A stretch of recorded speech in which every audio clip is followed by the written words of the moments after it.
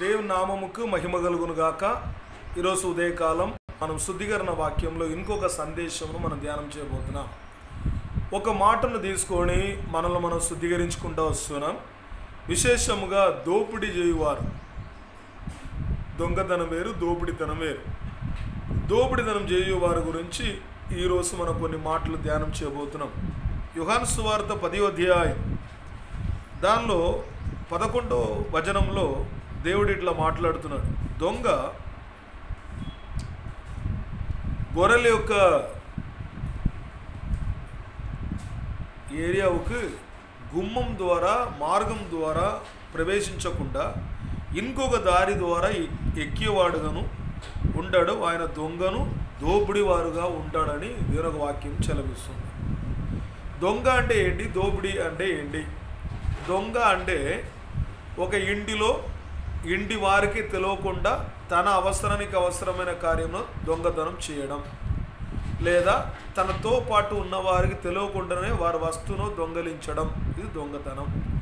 దోపిడీ అంటే ఏంటంటే జనము చూస్తుండగానే తెలుస్తుండగానే వారి యొక్క సంపాదనను దోచుకోవడం అన్నమాట. ఇది దోచుకునేవారు. ఇద్దరు కూడా రెండు వేరే ఒక దారి ద్వారా వారు సంఘంలో ప్రవేశిస్తారు దేవుని మార్గంలో ప్రవేశిస్తారని దేవుని ఒక మాట చెలవిస్తున్నాయి. మొదటి గొర్రెలకు రాసిన పత్రిక ఐదో అధ్యాయం నెల పది పదకొండు వచనంలో పౌల్ గారు ఒక చక్కని మాట మాట్లాడుతున్నారు. మనం ఏం బోధిస్తామంటే మనము దొంగతనం చేసేవారు దోపిడీ చేసేవారు వీళ్ళతో సంబంధం కలవద్దు మనం ఎప్పుడు దేవుని పిల్లలతోనే ఉండాలి అంటాం ఏదైనా అదే మాట్లాడుతుంటాం. కానీ బైబిల్ ఏమంటుంది? క్లియర్గా చెప్తుంది. ఈ ప్రపంచములను విభచారం చేయువారు ధనాపేక్ష కలిగిన వారు దోపిడీ చేయవారు విగ్రహారాధనికులు వీరు ఎవరితో కూడా కలవకూడదని చెప్పలేదు కదా అంటున్నాడు. వీళ్ళతో కలిసి ఉంటుమని అంటున్నాడు పౌలు గారు. ఇక్కడ ఉపదేశాలు మనకు తప్పుగా చెప్పబడుతున్నాయి. కానీ ఎవరితో కలవకూడదంటే రక్షించబడి ఉంటారు కదా.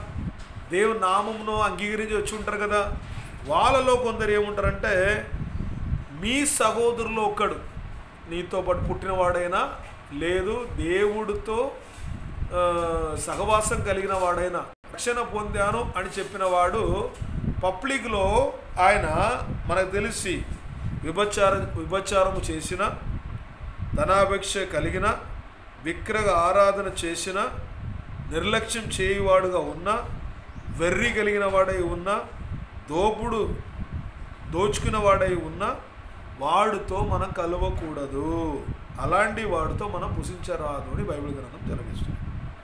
గమనించండి రక్షించబడి సంఘంలో చేరిన క్రైస్తవుల్లో మారు మనసు లేదు.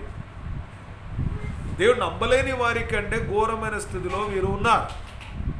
మరి వీరు ఇలా ఉన్నప్పుడు మనము ఆలోచన చేయాలా వద్దా? దేవుని పిల్లలే చాలా ఘోరంగా జీవిస్తున్నారు. దేవుని ఎరగలేని వారు ఏ విధమైన పాపం చెందినా వారు తెలియకుండా చేస్తున్నారు కాబట్టి వాళ్ళతో కలిసిమెరిచి ఉండొచ్చు.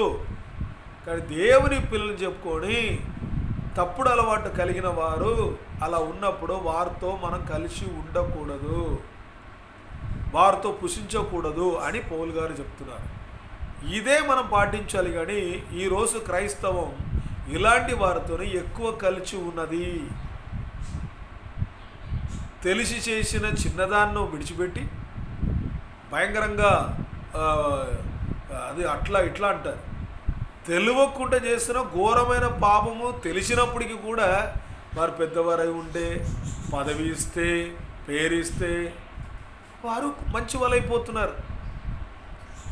నన్ను కూడా ఒక కాలంలో ఒక ఐదు సంవత్సరాల కింద ఒకడు దోపుడు సొమ్ముగా దో దొంగలించి యాభై లక్షలకి ఎక్కువ దొంగలించి నేను పెంచిన వారు నేను తయారు చేసిన వాడును ఆశ చూపించి పదవి ఆశ చూపించి వాళ్ళకు వాళ్ళ ద్వారా నన్ను కుంద నా పేరును దోచుకున్నారు నా భవిష్యత్తును దోచుకున్నారు నా స్థితిను దోచుకున్నారు.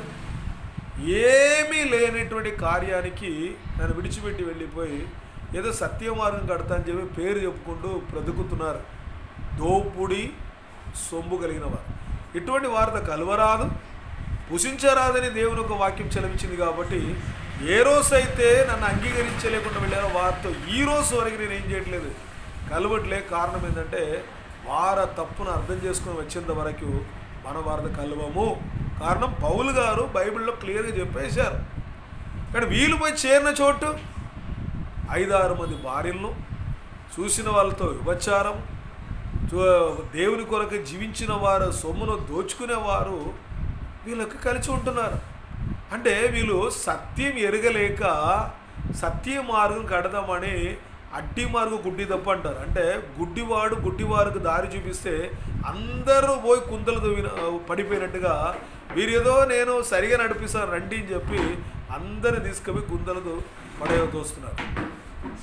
మీరు అనుకుంటున్నారు నా దగ్గర డబ్బులు ఉన్నాయి నా దగ్గర చుట్టూ పది పదిహేను మంది ఉన్నారు సపోర్ట్ ఇస్తున్నారు అందుకని నాకు ఏం కాదు అనుకుంటున్నారు.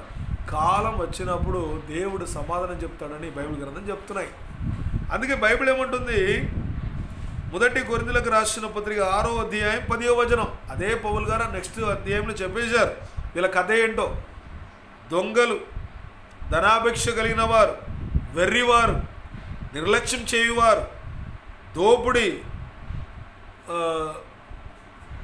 దోపిడి సొంబుతో బ్రతుకుతున్నవారు వీరందరూ కూడా దేవుని రాజ్యమును సుధంధరించనే సోదరించారంట అంటే ఆలోచించండి అండి. మనం ఎంత చోటుకు వెళ్ళి ఎంతమందిని కుందతోవి ఏ విధంగా పేరు తీసుకొని ఏ ఏదైనా బతు బతికితే ఏంటి? నీకు దేవుని రాజ్యం లేదు అని బౌల్ గారు చెప్పేశారు. మరి ఒక యథార్థమైన వ్యక్తిను యథార్థమైన క్రైస్తవుడిను మోసం చేసి దోచుకొని దొంగతనం చేసి వారి పేరును వారి పదవినో వారి భవిష్యత్తును దోచుకొని తను ఏదో కొత్త ఏదో సంపాదించినట్టుగా అంత యాక్టింగ్ చేసి చేసినప్పుడు బైబిల్ అంటుంది దోచుకునేవాడా నీకు దేవుని రాజ్యం లేదురా నువ్వు ఎంత యాక్టింగ్ చేసినా నీ యాక్టింగ్లంతా ఒక్కరోజు తేటపరుస్తాడని దీని ఒక వాక్యం చెప్తుంది. క్రైస్తవుడా మారు మనసు నొందు. నీ పైవాడును నీ తోడువాడును నిన్ను పెంచిన వాడును సరి చేసిన వాడును తయారు చేసిన వాడును దోచుకొని వాడు బదులు తను ఉండి నువ్వు గొప్ప పేరు సంపాదిస్తున్నావేమో. ఏదో ఒక రోజు నువ్వు న్యాయం చెల్లించాల్సి వస్తాయి. ఈ భూమిలో చెల్లించకపోయినా పరలోక రాజ్యం అనేది నీకు దొరకనే దొరకదని నేను ఒక వాక్యం చెప్తుంది. దోపుడు సొమ్ము నీ దేవుని రాజ్యమును కూల్చేస్తాయి. ఎవరి ఎవరి ఇంటిది అని. ఎవరు మనస్సునిచ్చిన దోచుకుంటే. వారి వారికి యథార్థంగా ఇచ్చారనుకో బ్రతుకు తీసుకొని దొంగలించకూడదు. దొంగలించడం అన్నది దేవునికి నచ్చని అసహ్యమైన కార్యం. అందరు ఈరోజు భవిష్యత్తు చూసి ఏం మాట్లాడతారు? వెళతారు. రేపటి గురించి దేవుని రాత ఏమని ఉన్నది అన్నటువంటి ఆలోచన వస్తే భయముతో భక్తితో ముందుకు సాగుతారు. సుధిగరణ వాక్యంలో మీరు ఎవరైనా దోచుకొని ఉన్నారా? ఎవరైనా మీరు అర్థం చేసి ఉన్నారా? ఎవరైనా దు- ఉన్నారా? మీరు మారు మనసును ఏ విధంలో మీరు డబ్బు కొరక పదవి కొరక పేరు కొరక దేని కొరక చేస్తున్నారో ఒకసారి ఆలోచించి శుద్ధీకరించుకుంటారా ఒకవేళ మీరు తెలిసి తెలియకుండా అటువంటి వారితో సాంగత్యం కలిగి ఉన్నారా? చేయి వారి దగ్గర వెంటనే వాళ్ళ నుంచి దూరం అయిపోండి. వెంటనే వాళ్ళు పుషించకూడదండి నన్ను నడిపించిన నాయకుడు ఈ పరిస్థితిలో ఉన్నాడు కాబట్టి నేను వాడిని విడిచిపెట్టా. వాడిని దూరం పెట్టాను. వాటితో భుషించరాదని చెప్పి మాట ఒట్టు పెట్టుకున్నాను. కారణం బైబిల్లో వెంబడిస్తున్నాను కాబట్టి. ఇది తెలియకుండా మూర్ఖులారా నేను నాతో ఉండి నన్ను గుందె తోపిస్తారే జనంకు దారి చూపిస్తా అని చెప్పి వారిని అందరూ కుందలు దోపిస్తున్నారే? ఎంతవరకు న్యాయం? ఆలోచన చేయాలి.